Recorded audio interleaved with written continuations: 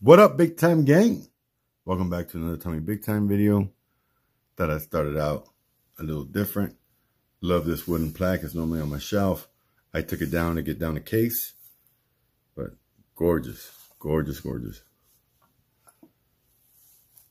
This is what we're talking about today. Prometheus Poseidon. First time owning a Prometheus. I think the watch is dope. So after the intro, we'll talk about it.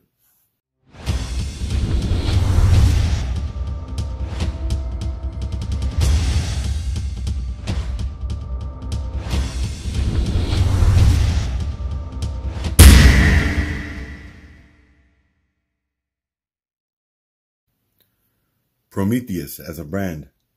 Don't know too much about it. I know that they're sold out on the website. Um, this watch came up from the homie George, and uh, I was very interested in the watch. Blue is my color. This has a matte blue dial and then a sapphire blue bezel. And the colors are just on point for what I like. So that's what attracted me originally. And then the gear type or cog style bezel definitely caught my attention. The uh, cog style or the gearing, you know, on this, uh, they're way bigger than what normal cog style bezels look like. I like that look. And then the sapphire bezel insert with another seller. Giant screw down crown at 7.5 millimeters. And then this is powered by the Miyota 9015 Japanese 24 jewel movement. And then 3,500 meters or 12,000 feet, 11,500 feet of water resistance. Not very many watches offer that kind of water resistancy. So super cool. Not that I'll ever need it.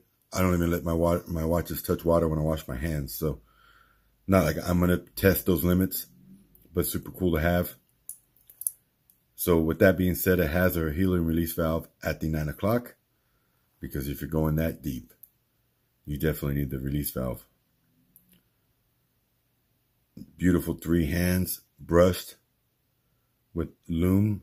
And then we've got the second hand with that red triangle with lume in the center. Date at the three o'clock, not framed. Indices are brushed with lume in the center as well. Then you've got white markings along the chapter ring. And then, of course, the bezel follows suit. Sapphire bezel insert with a majority of blue with some contrasting white.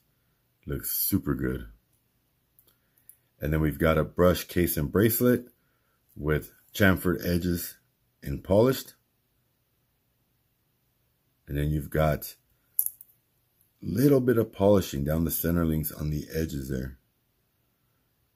Which adds like a, almost like a dressy look to the bracelet. Makes it definitely look, uh, reminds me more of like citizen style. But super nice looking bracelet. Nice beefy case. So the watch is 43 millimeters in diameter, 15.5 millimeters thick, including the double domed sapphire crystal. And then you've got 52 millimeters lug to lug. It does have male end links, or it has female end links, but the way they're set up, they kind of bind so they don't completely contort underneath. And then we've got 22 millimeter lug width, 7.5 millimeter crown, which is signed. So you have a solid case back with Poseidon because this is a Prometheus Poseidon. You see Prometheus Watch Company, Miyota 9015 movement, ANP0017, and then you got that 11,500 feet water resistancy and Poseidon, of course. 120 click, rotating bezel.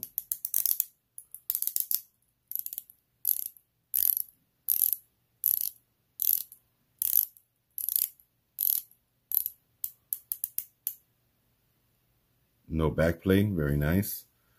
Screw down crown. overall, the banger of a watch.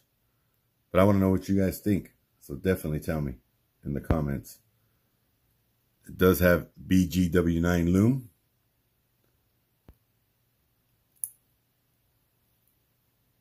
Two hundred and seventeen grams this thing weighs in on. Size to my eight inch wrist.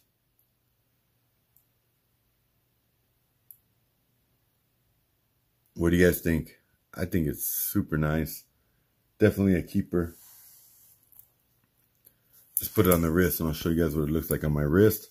This is a 43 millimeter watch and I think that's my sweet spot for sure. 43, 44 millimeters are just like perfect size. So there it is.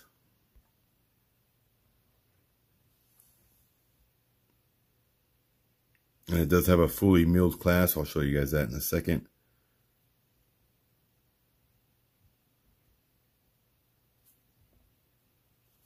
I think it fits super well on my wrist.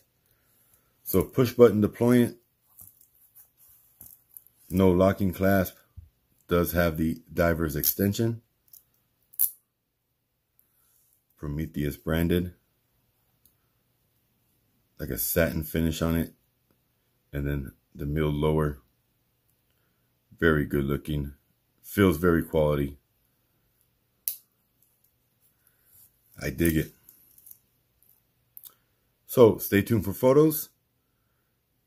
And uh, definitely let me know what you guys think of this watch in the comments. Let's hit it with the lume real quick. And then we'll wrap this video up. Big shout out to the homie George Wolf for this one. And there she is. Gorgeous. What do you guys think? Nice glow to the bezel. Very nice glow overall. You can see all the indices, all three hands. It seems like the second hand has green lume where everything else is blue. So it definitely sticks out. So thanks for watching. If you want to see the photos, stay tuned. If not, we'll see you in the next video. Much love and God bless.